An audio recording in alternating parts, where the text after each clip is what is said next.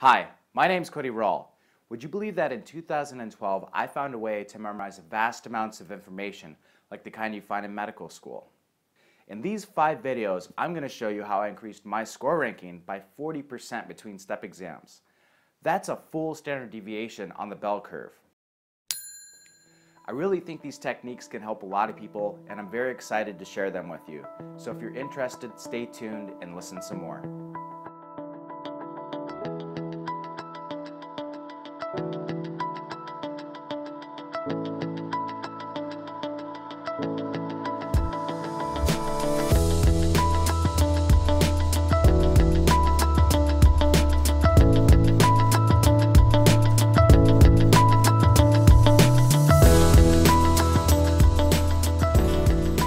I got a question for you guys.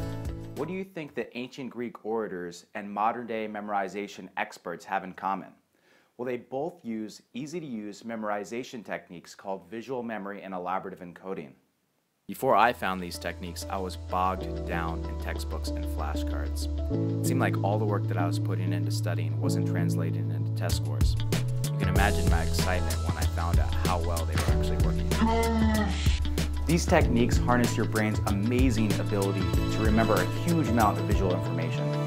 Imagine being able to easily remember a 16 digit number like the kind you find on a credit card. Imagine being able to easily remember everybody's name at the hospital or at social gatherings. Imagine having more time for sleep, leisure activities, and of course, more time to study the material so that you reach a higher degree of understanding after the drudgery of route memorization is over. So I found that these techniques work when I realized I had been using a similar technique to remember people's names better. Somewhere, and I don't remember where exactly, I had learned that if you meet a new person and you imagine them shaking the hands of a person that you had met before with the same name, your brain would be able to make that connection and you could remember the person's name a lot better. For example, if I met someone named Andy, I would just visualize the new Andy shaking the hand of my childhood friend Andy. And that would allow my brain to make the connection between the two people, allowing me to remember the new person's name a lot better. If you wanted to take it a step further, um, to remember the last name, you could add things in. For example, if the new person's name was Andy Bishop, I could just, in my visual memorization, put a bishop's mitre on the new person's head. I could make that association and I would be much, much more likely to remember the new person's full name rather than just forgetting it five minutes later.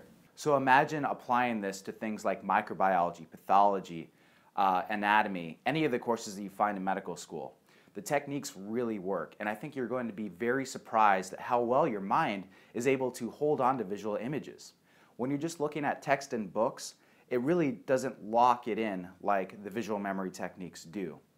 So I'm very excited to bring you the rest of my five-part video series. Check out my book on Amazon.com. 10% of proceeds are going to the Wounded Warrior Project.